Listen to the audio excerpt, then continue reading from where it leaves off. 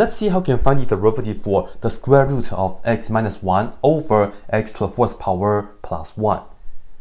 An easy way to do, an easier way I should say, is to use logarithmic. Let's see how can, let's see how can use logarithmic derivative. Let's see how can use logarithmic. Let's see how can use logarithmic differentiation to find the derivative for y is equal to the square root of x minus 1 over x to the fourth power plus 1. And the good idea is just Let's see how we can use logarithmic differentiation to find the derivative for y equals the square root of x minus 1 over x to the fourth power plus 1. And let's just go ahead and get to work. Let's take the natural log on both sides because this way we can simplify the expression on the right hand side. And we will also have to look at the square root as the 1 half power. So in fact, this is the same as saying ln of the whole thing, which is x minus 1 over x to the fourth power plus 1, and then raise that to the 1 over 2 power. So, depends on how you want to do it. You can bring the 1 half to the front first, or you can just put this on the top, put this on the top. Up to you.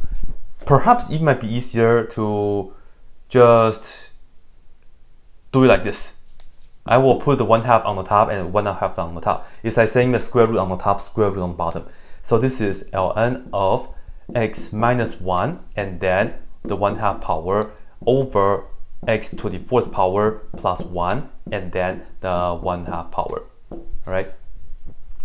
Okay, I'm going to write down the function right here again, ln y, and that's equal to.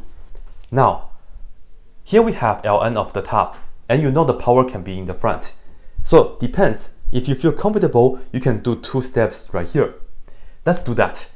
So we will first have ln of this, which is x minus 1, and then it will be to the 1 half power, but the 1 half can go in the front. So let's go ahead and do that. Let's put on the 1 half right here.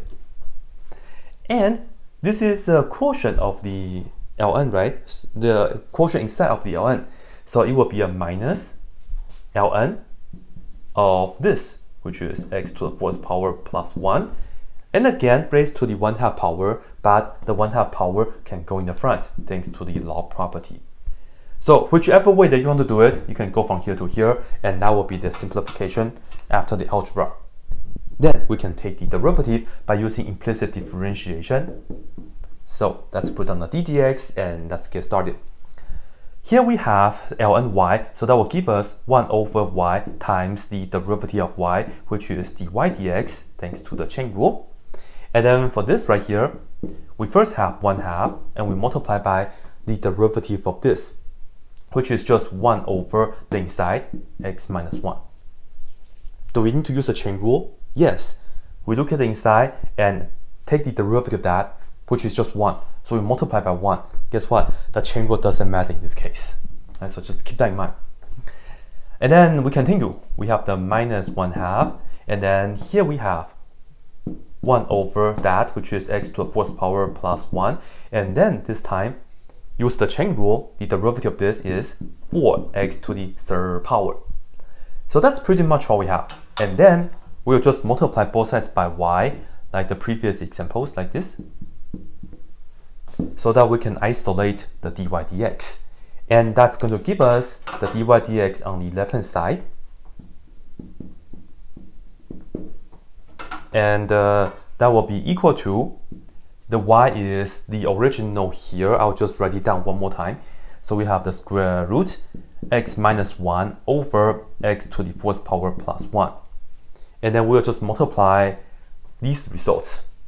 So for the first one, I'm going to have 1 over, I'm just going to keep it as 2, but this right here has two terms in this fraction, so we'll keep a parentheses with x minus 1. Yeah, you can distribute if you would like, but this is okay as well. And then minus, for this, we can reduce. This is 1, this is 2. So on the top, we get 2x to the third power over just this just this for denominator. So x to the fourth power plus 1. Hmm? Yeah. So that looks pretty good, and that's it for the day. Yeah, for this question only.